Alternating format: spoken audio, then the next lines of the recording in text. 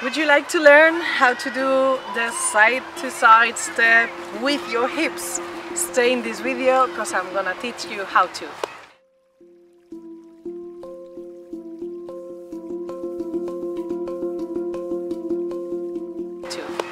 Hello, I'm Zahida Palma from dancepandemic.com and in this video, as I told you before, I'm gonna, I'm gonna show you how to do this side-to-side -side step including your hips, coordinating it with your hips.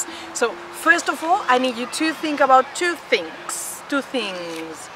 First of all, the first one would be going one and two and open, close, open, close, open, close. So your feet are very, very easy to move. Here it's just an open, close movement. It doesn't have any secrets. It's an easy thing to do. If you haven't seen my video about the figure of eight forward, please go and see it. You will see the link below. because um, you need to know how to do that movement properly before coordinating it with this side-to-side -side step. Um, so what I'm gonna do is to mix half of that figure of eight only with one hip with the side-to-side -side step. So as you remember, or you can check it now if you want, when we do the figure of eight forward, so from back to front, we change the weights from one feet to the other one and we also twist our hips. I'm gonna take advantage, uh, I'm gonna take advantage of that weight changing from one feet to the other one to open my feet. So I will, and don't worry because I'm gonna show you the movement uh, after the explanation uh, from my back so you can copy me. Now you can mirror me, okay? I'm gonna open my, I'm gonna speak as if I were you. I'm gonna open my right leg to the right and I'm gonna go with my left hip from back to front.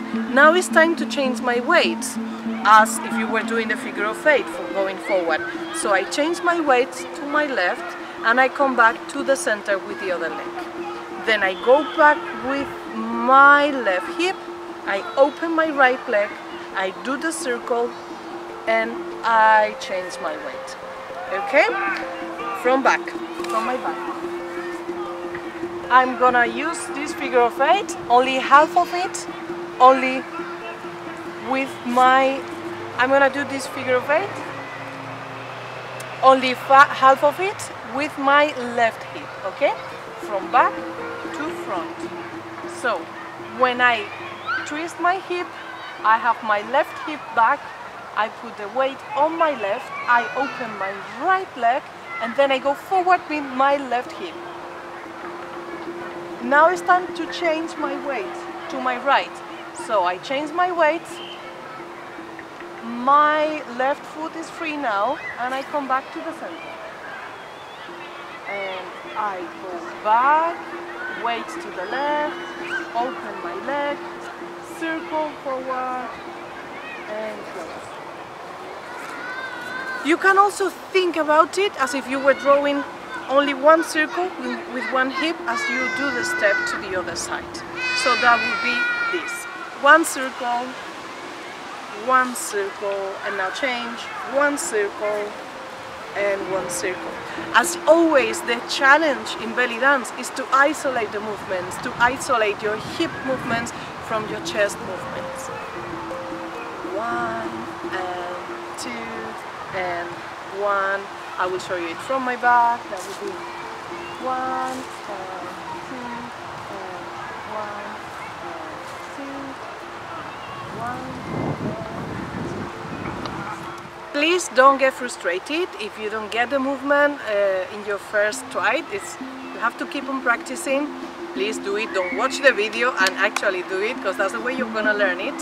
And if you find very very difficult to coordinate these two movements, so like the, the feet opening and closing and the hip movement, I suggest you just to forget about everything and to practice opening and closing your feet and moving your hip without any control, without thinking what do you really want to do because you're gonna, you have to get used a little bit before to the hip movement in any way before coordinating any particular one with your hip. So if you have found this video useful, please thumbs up in YouTube, subscribe to my YouTube channel and go to my website dancepandemic.com and subscribe to my newsletter because I share things in my emails that you won't find anywhere else. Thank you very much for watching. See you in the next video.